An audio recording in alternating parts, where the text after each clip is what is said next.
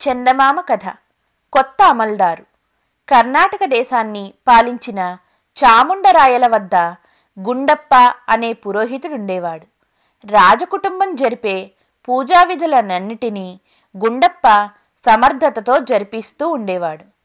ఒకనాడు చాముండరాయలు గుండప్పతో ఏమయ్యా నీవు ఇంతకాలంగా మాకు పురోహితుడివిగా ఉండి వైదిక కర్మలన్నీ ఎంతో చక్కగా జరిపిస్తున్నావు. నాకు చాలా సంతోషమైంది.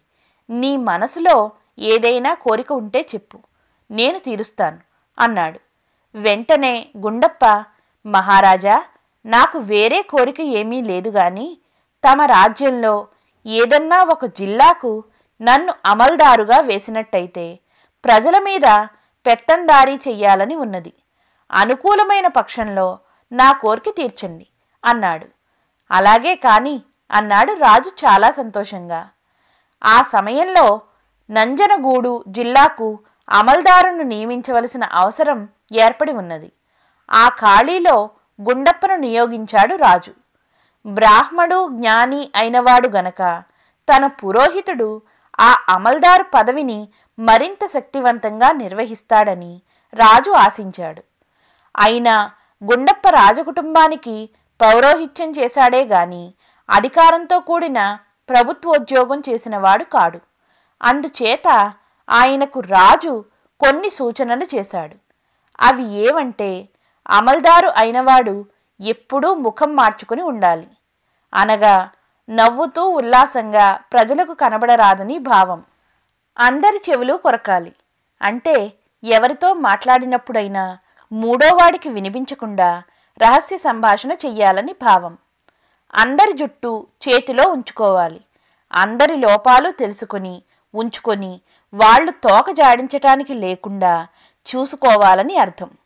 రాజు తనకు సంగ్రహంగా చేసిన ఈ మూడు సూచనలను గుండప్ప శ్రద్ధగా ఆలకించి మహారాజా అర్థమైంది. నే గ్రహించాను అన్నాడు. తర్వాత ఆయన రాజుగారి వద్ద ఉద్యోగపత్రం పుచ్చుకుని వస్తానని చెప్పి సెలవు తీసుకుని పుట్టెడు సంతోషంతో ఇంటికి వచ్చేశాడు.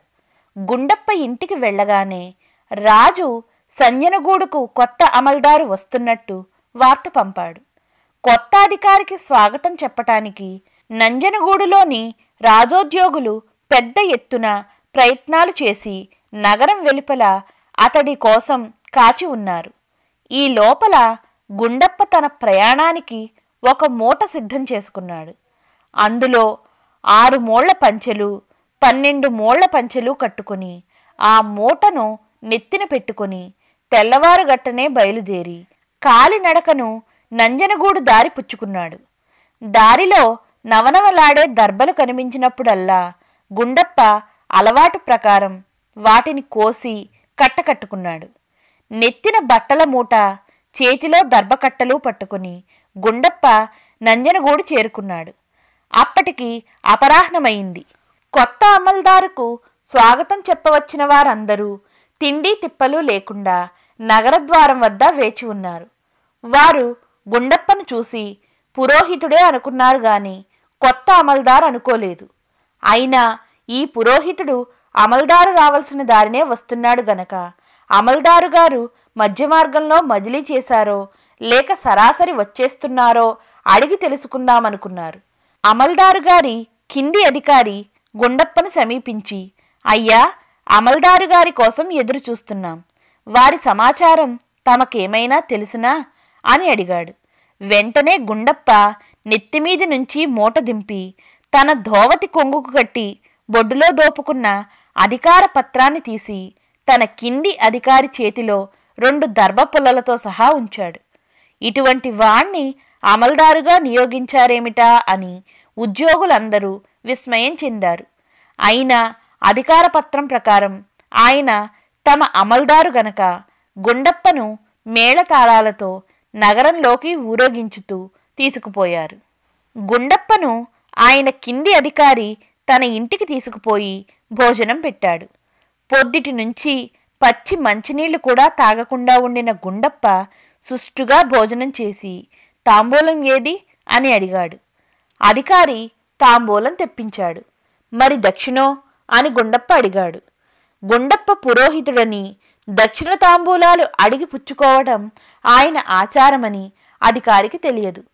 కొత్త అమల్దారు తనను అప్పుడే లంచం అడుగుతున్నాడని ఊహించుకుని ఒక సంచిలో ఐదు వందల మొహరీలు పోసి తెచ్చి గుండప్పకు ఇచ్చుకున్నాడు.